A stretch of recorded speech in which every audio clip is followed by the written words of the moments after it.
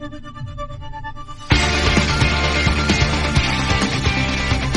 ever get the feeling that everything in America is completely fucked up? You know that feeling that the whole country is like one inch away from saying, that's it, forget it. Yeah, that's where we are, but I'd like to offer something from the musical version of Pump Up the Volume for a second, so we can pretend we're optimistic. Cause there's a song in this, in this, what would be this segment, with Malcolm, or rather the students singing to Malcolm, which is an interesting premise. Uh, they say, speak to me when the darkest day turns into night, cast the shadows out into the light, say everything will be alright. Which considering Malcolm, you know, shoots himself right after means they are getting across. Which sounds about right.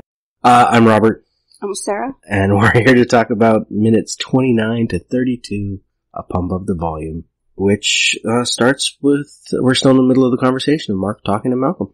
And we've got Mark egging him on quite a bit while he's crying. Yeah, I, I was glad that this wasn't a choice. Well, the director and writer are the same person, but it wasn't a choice in production. This is in the script that Mark does not believe him, and so he keeps asking more questions, more questions until finally he realizes when he said when Malcolm says "I'm all alone," Mark realizes he means it and like feels bad about all these questions. It's actually written in the script, so that was nice at least. Because yeah, Mark's just making it worse. Like, do you have it with you? The gun. Um, did you at least write a note? I mean, you have a reason, don't you? You're not going to be one of those people who kills themselves and nobody has any idea why they did it, huh?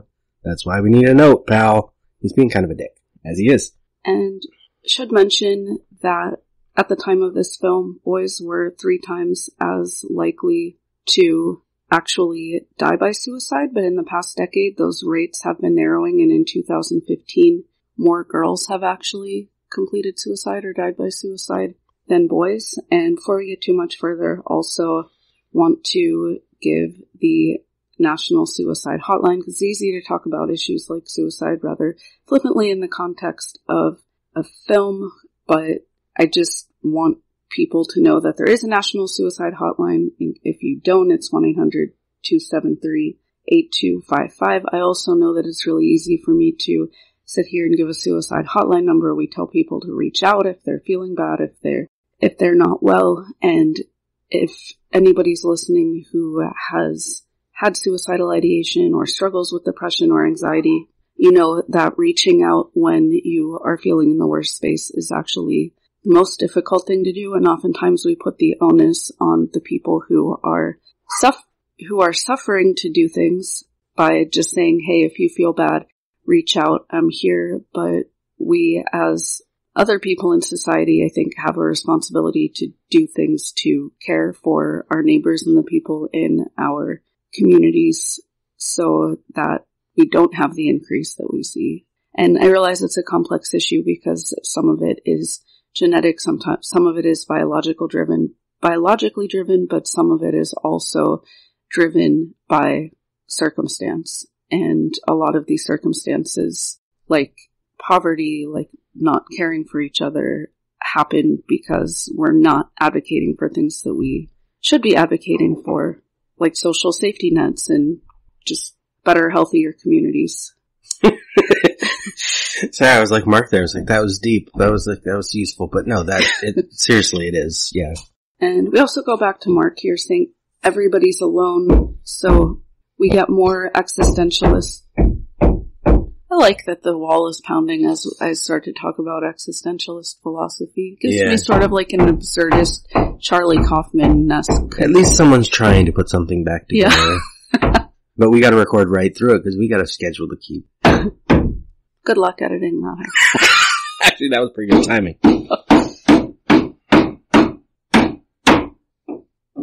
What was this about existential something? So, yeah.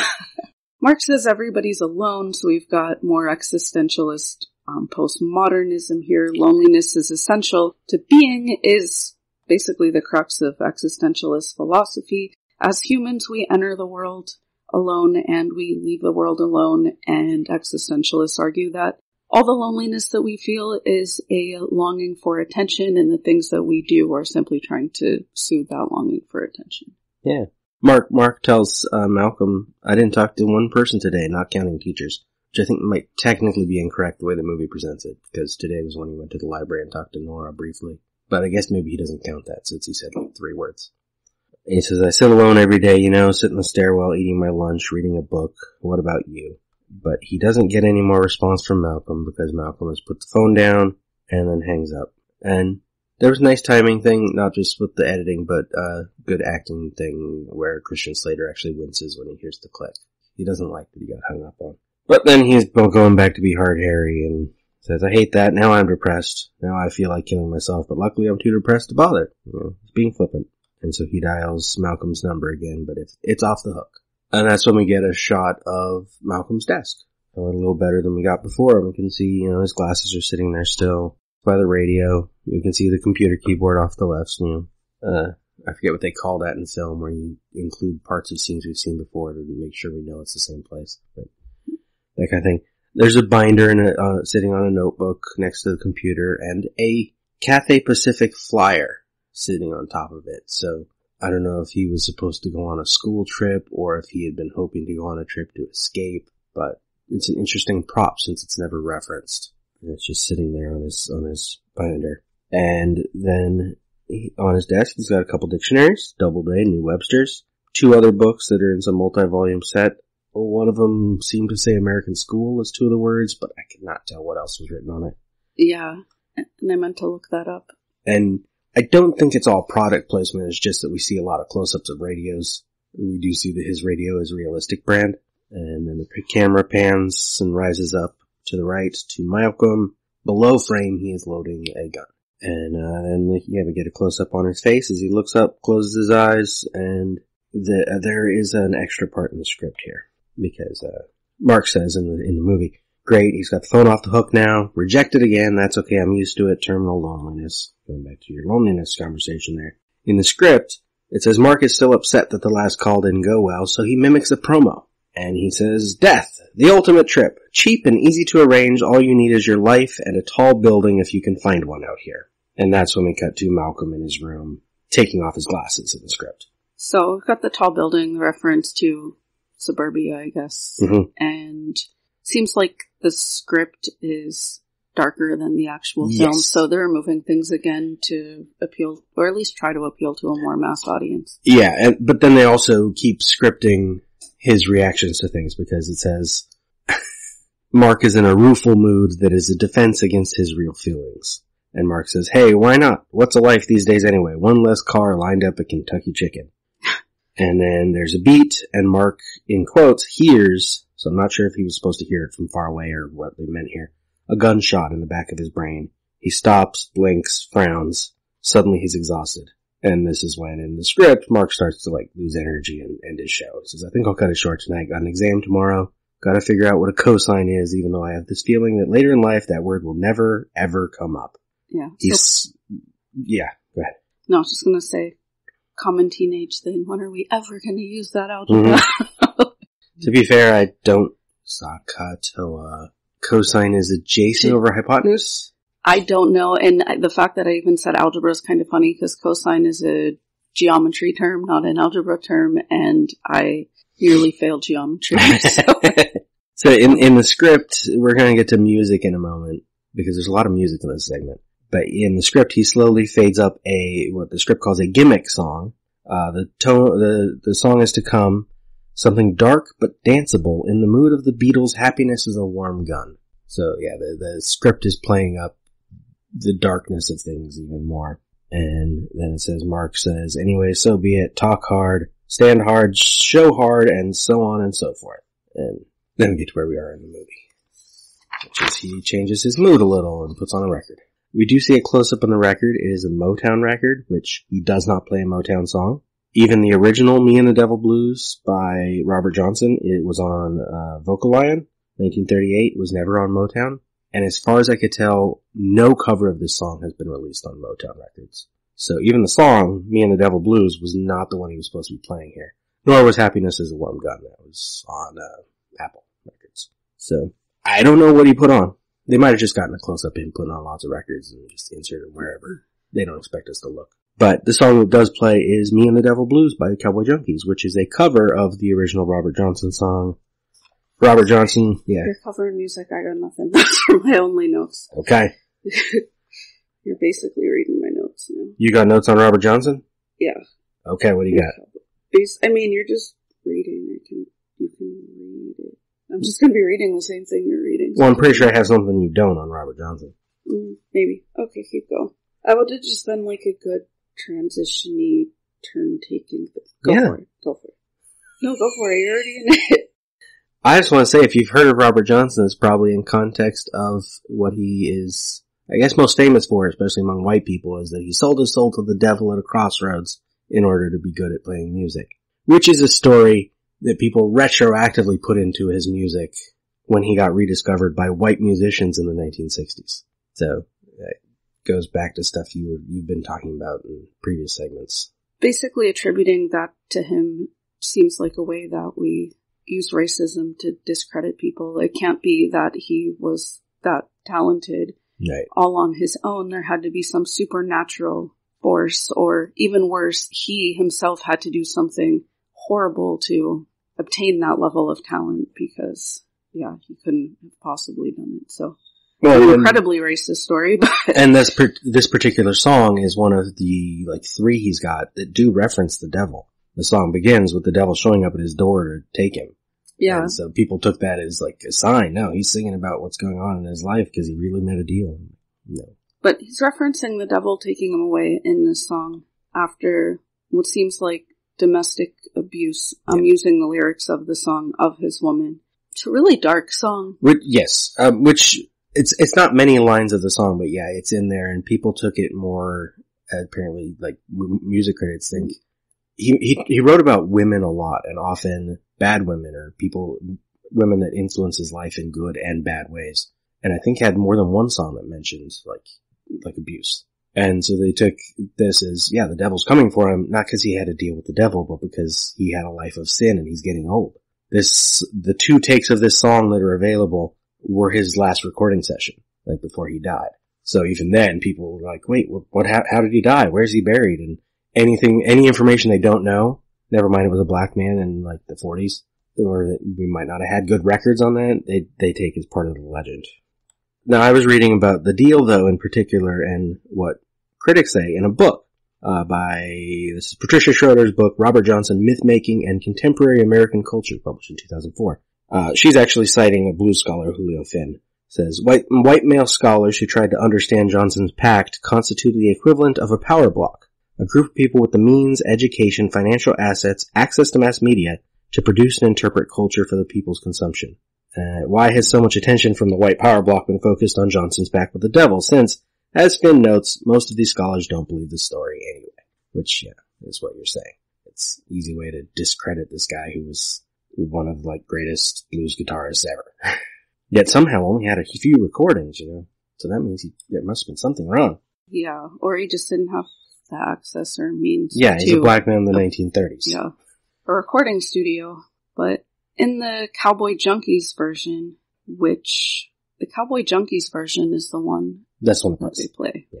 Right. So, well, Cowboy Junkies, the band, is comprised of Canadian siblings. The LA Times called their the Trinity Sessions album one of the top 10 albums of that year in 1988. They were a top 40 band in Canada with a lot of top 40 hits, but they seem like somebody I should have heard of, but I definitely heard of them, but I don't know that I ever heard them. Like I wasn't familiar with songs of theirs. in the Cowboy Junkies lyrics, they change from a man abusing a woman to a woman getting revenge on a man for abuse. They like flip some of the Well, they- gender lines in this song. Yeah, they changed it to from woman to man. I, I would note, interesting um, side note, another person who recently covered this song was Gil Scott Heron, who performed on the Sun City album that you talked about. I think that was last segment. Yeah, I wasn't aware of anybody else who made covers of this song. It doesn't make sense there'd be. Uh, Rolling Several, Stones yeah. did it, and the Doors did it. Yeah, Uh, I think Bob Dylan covered it. I think the people who made this song famous, or famous in quotes, would probably be the Rolling Stones. Now, as this song plays, we actually don't hear much of the lyrics because Mark goes on a very, uh, what's the opposite of energetic? Uh, he's losing his energy as he's ending his show. yeah. By the end of this monologue, he's actually hugging the mic like he's telling a bedtime story, hunched over. Yeah. Like And at one point, he almost it almost looks like he falls asleep. yeah, he's got his head He on his arm. back up. Yeah. But he starts with people always think they know who a person is, but they're always wrong. Um, and then we cut to Nora with her whiteboard. She's got clues written down. She's writing down eats lunch on stairs. She also has math exam, even though that line got cut. Uh, she has parents written, which I guess it's useful to know he has parents. Smurfs. Something about the president. I couldn't read the whole line, but it's ended with president. And she has a list of suspects, but I couldn't read any of the names and probably wouldn't have known who they were.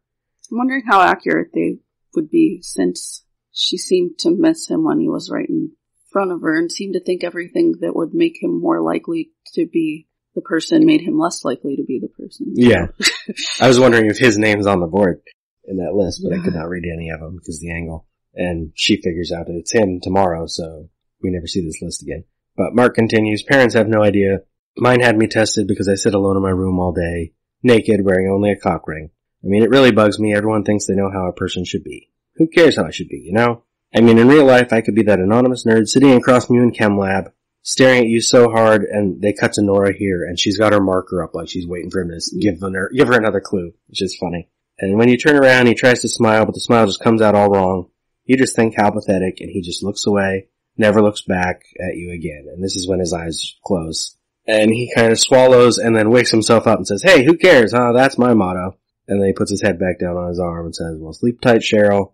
Sleep tight, Miss Refinements. Sleep tight, Poetry Lady. In the script, it cuts here to Malcolm's room and the computer screen that says nobody has a clue. And Mark says, sleep tight, Mr. Serious. Maybe you'll feel better tomorrow. He flips a switch and the sound and the, because it's the movie, the scene fades out. And we cut to school the next day. And we have the boys in conversation. Hey, Their names are Holden and Gordon, by the way. Oh, okay, so they have actual names Mhm. that aren't in the aren't in the script. Yeah. Well, they are in the script. So Oh, sorry. Yeah, I printed your copy of the script before I realized. yeah, Holden's first. Holden. So we get a Holden Caulfield reference. Mm-hmm. Although his name is Holden Chu, which actually is interesting if that's in the script because he wouldn't have been. No, his last name's not in the script. That's on IMDb. That's racist. And what's the other character's name? Gordon. Oh, okay. So yeah, one's just saying, "Hey, what's cock ring? It sounds cool. How should I know? Maybe it's a ring with a cock on it." Like, purpose here is that more people are talking about his show and listening mm-hmm. to the references that he's making. Yep. And And then Holden's confused because he said, but he said he was wearing it. Then, yes, we get Freedom of Speech is playing as we see Mark arriving at school. So, Above the Law was a group that was founded in 1989. Freedom of speech was made for this film. Well, not exactly, but like knew it was going to be used in this film. They didn't really have many. Well, yeah, this, this film does that a few times because we get the unreleased Beastie Boys song, the Chagall Guevara song had not been released yet and almost didn't get released on its own album. This song was released on Eazy-E's Ruthless label, Hmm. and the group disbanded shortly after. I think by like 1990 they weren't a band anymore. But the song lyrics pertain closely to the show. First he says, now what's really known as a radio cut when you can't say shit and you can't say fuck. I really think you want to hear it, but the radio station, you see, they still gonna fear it. So, making reference here to things we've talked about prior, like the 1987 FCC rules and Yeah. Tipper Gore and that whole um, thing. Not that you could say shit and fucking pop songs on the radio prior to that, but um, he says, "Yo, I thought this country was based upon freedom of speech, freedom of press, freedom of your own religion to make your own decision. Now that's baloney, because if I gotta play by your rules, I'm being phony. Yo, I gotta cater to this person or that person." I gotta rhyme for the white or the black person. Why can't it all be equal? Music is a universal language for all people. And then the song quotes from First Amendment, Congress shall make no law respecting an establishment of religion or prohibiting the free exercise thereof or abridging the freedom of speech of the press. So, obvious choice for Yeah. this film. One of the verses that I liked briefly from this song says, rap music, a form of literature, words and verbs and adjectives painted up like a picture. I always loved rap and hip hop when I knew, say from the time I knew what it was as a genre, which would have been by middle school, and when people would ask me why I loved it, it's like I love it as an English major because good rap is telling you a story and it's telling you stories that you don't often hear. They're telling you truth that you don't get in mainstream culture or mainstream music. Rap became mainstream, but that's how I view rap as a form of literature and I think it's devalued by a lot of people again because of racism or those they'll say things are so horrible in rap songs, but meanwhile the country songs that they're listening to are just as thing. violent and Mhm. or the pop songs that they're listening to are just as much like supporting rape culture, toxic masculinity, like all Yep. the genres of music are discussing those issues. In my opinion, those are things that we should discuss and those are things that we should make music about anyway. But the fact that rap is singled out as this horribly violent or misogynistic type of music is not fair or accurate if you study lyrics from different genres of music. Yeah, this song isn't wasn't written into the script, but it did say that Mark hears a the gimmick song from last night show and considers approaching a couple of kids that are moving to the gimmick song of last night on a ghetto blaster. And the script says, "Are they Hard Harry fans? Perhaps they're signaling this fact to others." Uh, but Mark slinks on, afraid to hang out. So he he he know, almost approaches people who would be fans of his. And then we get a couple angles of Mark walking around the school. Uh, he's actually out by the field. We don't see the field, but we can see the pipe on the hill. And then he, that's when he looks up and sees "So Be It" spray painted on the wall.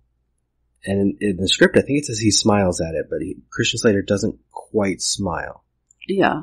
He he notices. It seems like he likes that it's there, but then he moves on because he shouldn't be. He doesn't want to be staring at it, and almost bumps into a guy immediately after. And then we cut to um, Mark passing some lockers. There's uh, Centurions flyers, which next segment we will have confirmation Centurions is the mascot. Ah, yeah. it's on the sign outside the school. Yeah, it was fun looking at what was in the locker and trying to figure Yeah. out. that, that's my next thing is Donald's locker because you noticed the thing about his his Centurions flyer. right. You darkened the skin, remember? Oh, I don't know if I even, I don't know. Yeah, You want to mention that? you don't want to mention that Donald turned his Centurion black? Yeah, I don't really know what that was about. I don't either because he also wrote something over the top of the flyer, but you can't read it. It's too, it's, we're not close to his locker. So his, his flyer has been altered specifically. And he also has what might be a picture of Ice-T. He has what might be a small poster for Mystery Science, Mystery Science Science- Theater 3000 and possibly some Garbage Pail Kids cards. Yeah, that's what I was trying to figure out mostly. But none of them are very clear because the shot's kind of wide, and so we just have to guess. Uh, it is in the script that Janie walks by at this point, putting spray can, uh, spray paint can into her bag. The script says she looks militant, which was interesting because at a glance, I did almost think for a second her jacket was camouflage, but it's not. It's just a nice leaf design to go with her pink dress. But she's she's uh, the one who did the spray paint. So I had never noticed that until we were doing this show and we see that Donald is selling tapes for five bucks each. And I'm wondering, are those just for kids whose parents don't let them listen to the radio home? I mean, you think all the kids would have access to the. They don't have access to listen, but uh, he's probably playing old ones with interesting music because we are supposed to assume Mark's right when he's the rap king of Arizona. Like he introduced them to scenario. He's been playing Ice T, and now you know Donald's got a picture of Ice T possibly. So they were talking about it in the bus at the beginning that this is the one where he plays Ice T. So Yeah. He's moved from the he's East got classic Coast, episodes. and rap was more of an East Coast genre Hmm. until the early 1990s. Obviously, West Coast rappers existed before then, but it was very East Coast dominated until you had like Tupac and you had Digital Underground and you had Too Short and a few others I'm forgetting, but they were 1990s phenomenon. So it makes sense. We'll credit the white boy for bringing rap interest to the West Coast. Well, it's both true and somewhat true and unfortunate because the same thing happens with like radio stations. They're owned by a bunch of white men that at a certain point we're like, okay, fine, we'll play rap because it's, you know, popular, but then they make it more mainstream popular and then it's, helpful and problematic at the same time. And then what got popular was more of the gangster rap style when a lot of the social justice focused rap music, like a tribe called Quest and Yeah. a lot of these bands, they didn't get the same radio play or respect because rich white guys weren't trying to sell that message. No, they weren't trying to sell the people. They were just trying to sell a reminder that this is how those people are. They sing about violence. And uh, this song transitions into another as Mark keeps walking past a couple cheerleaders. We hear Tale of the Twister by Chagall Guevara, a band name for Che Guevara and Marc Chagall. Mark stops for a moment because he sees Paige. Yeah, you got notes on the band?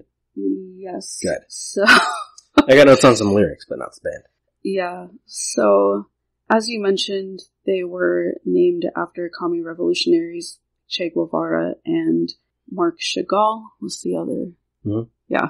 They weren't really commie revolutionaries themselves, though. They were Christian rockers who wanted to do a different type of yeah. Yeah, they were in Christian rock bands that were never very popular, and this song on the soundtrack was the only album that they made, which was a self-titled Yeah. Chagall Guevara album, and some lyrics from the song, and with a brain like Einstein, and with a form like sin, up on the roof of Trump Tower, she said, it's yours on a trade-in. So, Huh.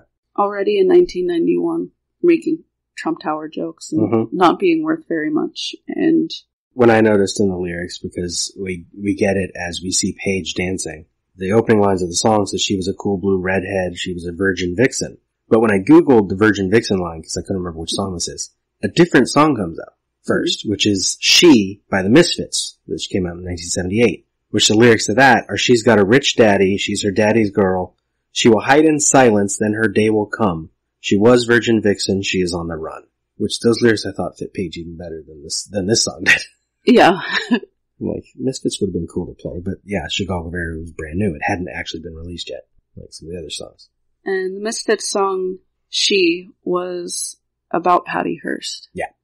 So, who Patty Hearst was the granddaughter of Which, it would have been William interesting. Hearst, William Randolph Hearst. Yeah, it would have been interesting if that song played here, because anyone familiar with the song might get that reference and might think Paige is going to do even bigger things later than what she does. And so it could have worked as a sort of misdirect foreshadowing that we're going to get actual violence later. But, uh, yeah, Mark does stop when he sees Paige dancing and then he changes directions and walks a different way. Even though next segment we will see he circles back and walks past her. And that's where this segment ends. Lots of music. We end on kids having a good time dancing to music that'll get interrupted next time. I will say, since I messed it up last time, this is a weird reference, but I will promote the Room Minute because I said last time I didn't have any movies I'd covered that involved suicide, and that one does. But, very different tone because of its bad filmmaking. You can find that on social media uh, and all your podcatchers. And you can listen to uh, Life as a playlist and follow the Life as a playlist social media pages. And that's where I discuss more songs and lyrics in depth with autobiography and social commentary. So, Speak out! They can't stop you! Find your voice and use it! Keep this thing going! Pick a name, go on the air. Your life. Take charge of it. Do it! Try it! Try anything! Spill your guts out! Say shit and fuck a million times if you want to, but you decide! Just fill the air, steal it! Keep the air alive! And follow this show on, as Pump Up the Minute on Twitter, Facebook, and Instagram. Or check lemmingdrops.com for links to this show and others. Talk hard!